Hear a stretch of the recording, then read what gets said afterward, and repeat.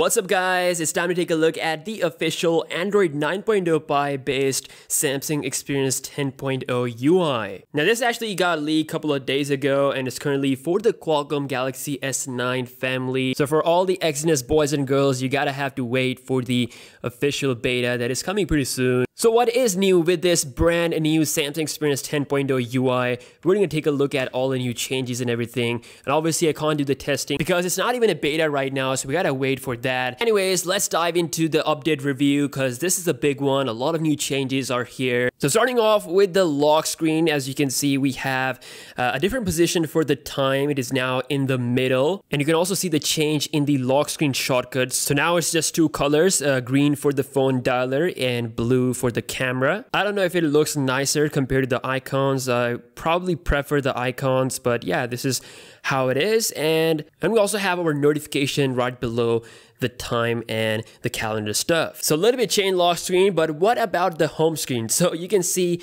uh, it is looking same on first look, but we have some changes. For example, with the navigation bar keys, we actually have a different recent key. So now it's looking a little bit different. And there's a reason why they changed that because we also have a change in the recent menu. You know, the whole look is different. We're to take a look at that later. But other than that, you can see the time and the date information over here is different. It's kind of like the Pixels on glance widget. So the time, the date, the month, the weather. Now we also have some changes with the status bar. The battery indicator has been moved all the way to the right.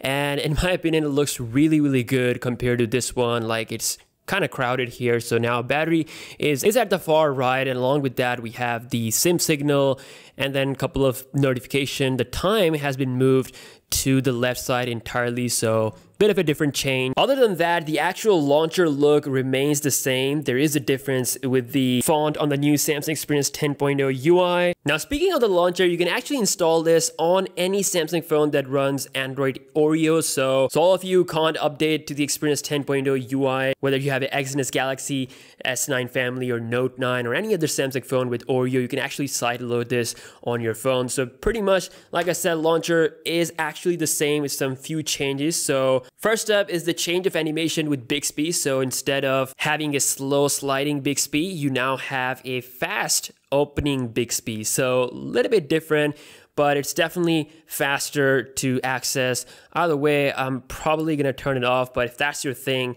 uh, it is actually much faster with this uh, Samsung Experience 10.0 UI launcher. And obviously there's a quick change with the menus as well. So you can see a little bit different color. It's more whitish and more filled compared to this one. And the actual home screen look is also changed. So this is all creamy white look, but now here we have the dark on white look. So it's actually standing out a bit more. One of the biggest change here with the Samsung Experience UI is the addition of the night theme. So you can actually have a dark theme on any Samsung phone if you want to, and that would require a separate theme. But now uh, this is coming built in. So uh, it's going to be more optimized. And as always, this is one step ahead from Google's uh, dark mode or night theme, whatever it is. So it is one step ahead from that. And that's why within this launcher, you can actually see uh, the black background. And on top of that, we have this white menus to stand out more. So, so you will have the option to have the night theme on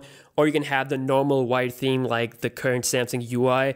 Uh, there is a bit of a change, of course, with the font everywhere. So this is the night theme, couple of options. You can turn it on all the time or have it turn on as scheduled or turn on in the dark where your phone will recognize if you're in a dark environment it's automatically going to change that. So that's pretty cool. And we also have the decrease brightness option which will automatically going to decrease the brightness once you turn on this dark or night theme. Now this is going to be pretty good with the battery life because uh, we have super AMOLED display and with the dark stuff, it will save a lot of juice so you will see uh, better battery results with this night theme. Also there's a bit of a change. Instead of advanced features, we now have a motion and gesture tab that includes all the um, the stuff that we used to see here. So we have uh, pretty much the same options that we had before, but now there's a new one which is lift to wake. So just like on the Pixel phones, the phone will wake up automatically when you pick it from the surface. So that's cool. And now this is how your recent menu will look like. So with kind of like this, you have a different recent menu button as well. So uh, it is similar to what we have seen with the Good Lock application. And it's also very similar to the stock uh, Google recent menus. So we have this huge preview of the application. You can actually close all the applications by pressing this key. And we have some of the used apps here as well. So instead of having the close all at the end, we have it here all the time on the middle. And you can do the split screen multitasking by holding on to uh, the application icon. Now, just like with the previous uh, Samsung updates, we have a material update of design with every single Samsung application. So this is how your phone dialer will now look. So a bit of a different font. We also got some new options here. The keypad, the recent contacts and places. So you can quickly swipe in between, which is different compared to this one. So if you turn on the night theme, this is how your notification panel will look. So completely different a look of the icons compared uh, to the older Samsung Experience UI. So it's much cleaner, I would say. And it is very similar to the look of the Google Pixel um, Android 9.0 Pie notification look. But Samsung has taken this to the next level because your actual notifications are now in dark as well, which is something that you don't see on the Pixel. So I have the night theme enabled here, but still my notifications are in white color. So with Samsung's version, you're gonna see the dark notification as well. And this is how your overall settings and menus will look. Uh, very clean look, I would say. Uh, dark and then white we have a welcoming night theme option here uh, in the display section, so that's nice. A quick change with the battery options as well. So now instead of mid max, it's now medium power saving mode, maximum power saving mode. So just a little bit change there. And they also changed the look a little bit. And this is the dialing menu. So when someone calls you, if you have the dark mode enabled, this is how it's gonna look. And this is how the messaging application look completely dark with blue and white background, which again stands out a lot. And also we have the dark keyboard look as well. And with the night theme enabled, you also get change with the Bixby. It has its own dark UI as well. We also have a huge change with the Samsung Internet application. So instead of having the options over there on the top right, we have them in this beautiful landscape order. So it looks really neat. Just a quick material design change with the My Files application. Slight design change of the camera application as well. It seems like the AI integration is coming here as well. Also, instead of having all the modes on the top, we now have the Bixby Vision and AR emoji over there. But the auto mode is now here, so you can actually switch from here uh, to the different modes. So that's a bit of a change. Now, last but not the least, we have the gesture support as well. Finally, with Android 9.0 Pie, we have the gestures and it's not similar to Google. Uh, Samsung likes to call a swipe up action. So, so pretty much this is how it's going to work. Your navigation bar keys will be completely hidden and in order to perform the action you have to swipe at the bottom. So if you want to go to home you will swipe from the bottom like this. It will go to home.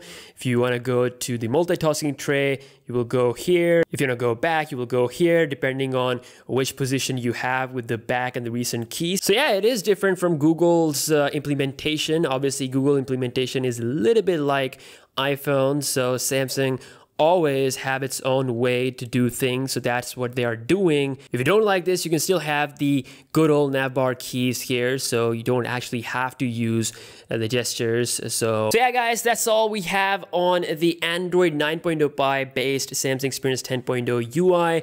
Again, this is currently for the Qualcomm S9 family, which means if you live in US or if you are in China, then you probably can install this leaked build. Although it is very unstable, I would highly recommend you to wait for the first beta, which will arrive for the Exynos and probably for the Qualcomm model as well. And when that happens, I will be installing it and we'll be testing out the speed and do all kinds of stuff and see the benchmarks and everything. But right now, it is pretty broken, but it did show all the the new changes and features that they are going to implement with this update. So let me know what's your favorite new change here. Uh, mine obviously is the implementation of the night theme of default with the experience UI. It's gonna help the battery life a lot. Can't wait for the beta to come out. But uh, yeah, this is everything new and uh, I will see you guys in my next video. Peace out.